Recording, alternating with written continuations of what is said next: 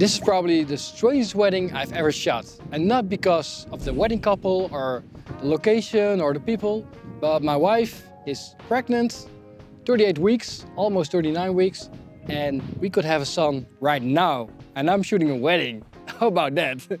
but I've booked this wedding like a year and a half in advance, so gotta shoot those weddings. So I'm hoping my wife is not gonna uh, be in labor right now. I have to check if, wait, I'm gonna check if I've got a son. No, still no son, so I'm still good. About this wedding, we're in Rotterdam, Dutch city, a big Dutch city, and we shot the most beautiful wedding ever. And the cool thing about this wedding is it's also a religious wedding. And I'm not a man of religion, but I shoot a lot of um, religious weddings, and I'm fine with that because I think uh, love transcends everything. And it doesn't matter if you believe in a God or not, don't believe in a God. I think love is everything, and that's what I do. I shoot love. Love, love, love, love. And also a great thing, I'm gonna shoot hybrid photo and video. With the help of my assistant Sanne, she's over there. You can see her because she's holding the camera and she's complaining that the camera's quite heavy. She's holding because my camera, and I've got, I'm a big man with a big camera. So she's complaining that the camera's quite heavy, but we're gonna shoot hybrid photo and video. And I'm gonna show you the photos and the video and all the great stuff. And now I've talked too much and just let's go on to the vlog and show you all the beautiful things I've done because it's so beautiful. Yes!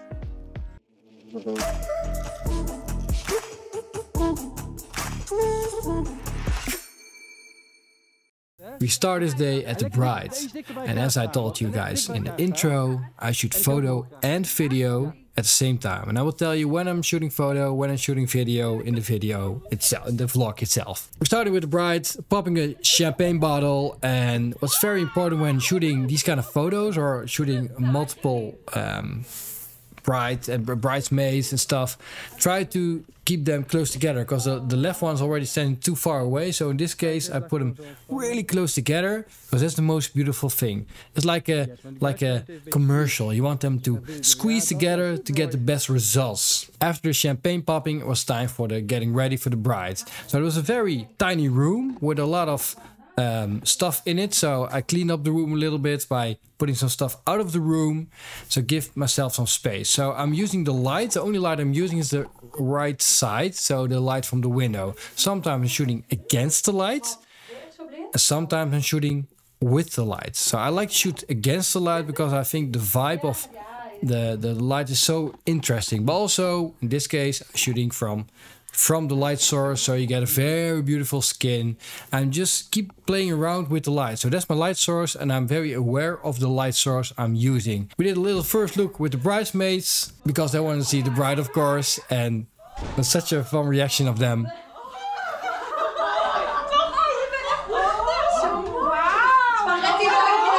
Then the groom arrived. I instantly started shooting uh, videos when he walked up me so to, to, create a story. And in the back you can see someone walking through the through the video. Uh, you always have to be careful of people walking through the video so they don't mess up your shots, especially with video. It's difficult to get someone out. In photo you can just clone someone out.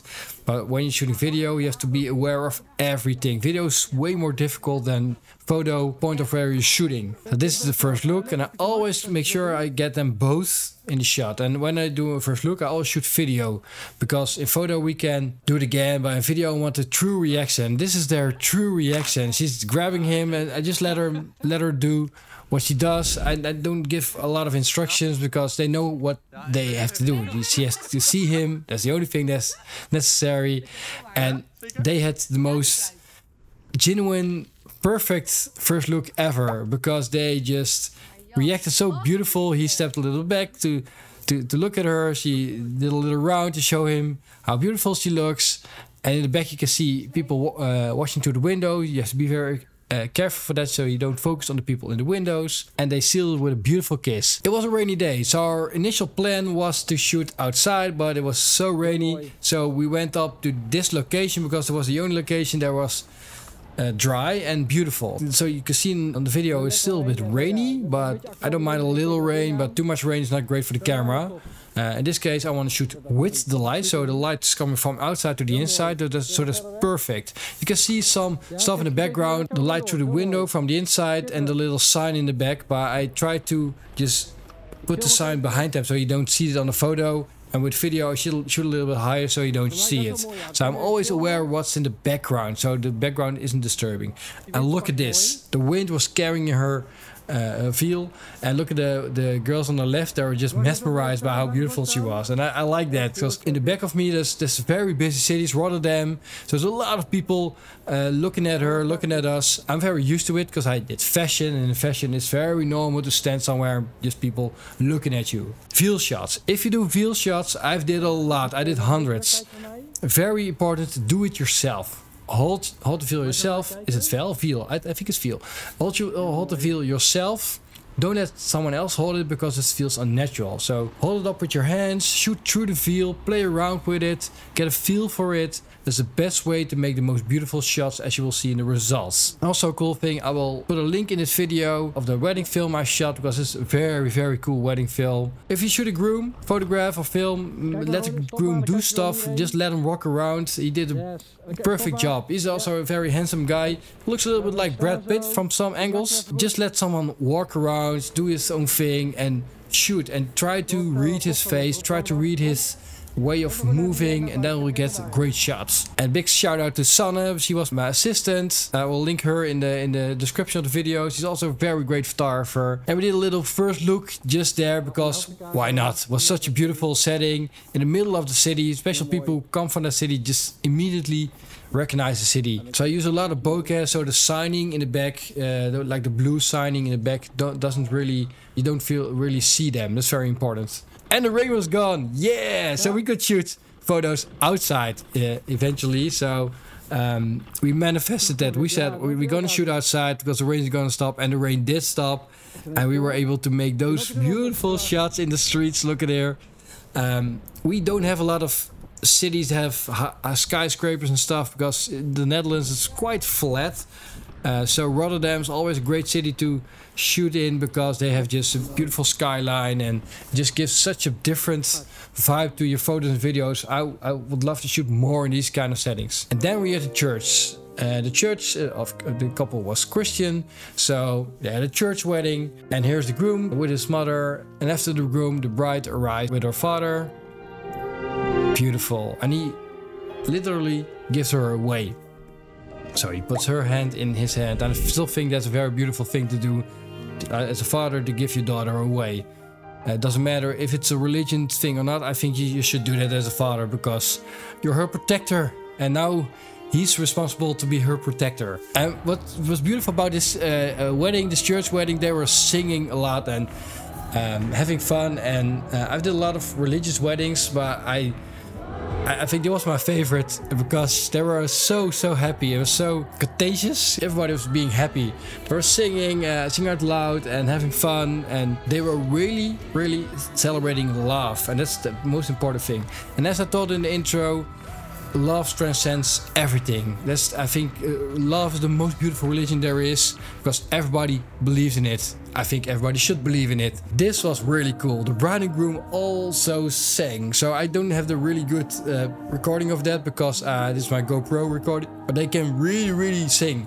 So I, I had goosebumps while standing there on the stage with them. Uh, also, my assistant, Sanne, said, "Oh, they're really good." I said, "Yeah, they're, they're really good uh, singers."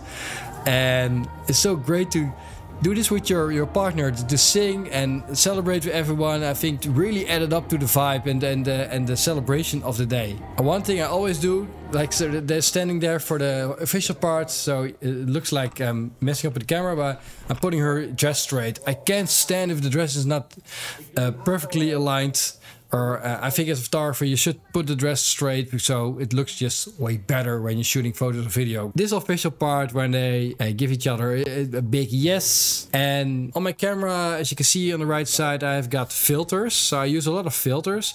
If you're curious about that, go follow me on Instagram because I share a lot about those filters. Uh, like mist filters and stuff to give a sort of vibe. So you'll see that my GoPro images and my Canon uh, images are way, way, way different. I'm someone that's really good for a vibe in a photo or a video. I don't care about the ultimate sharpness of a photo, because what is a sharp photo? It's the most boring thing ever is a full sharp photo.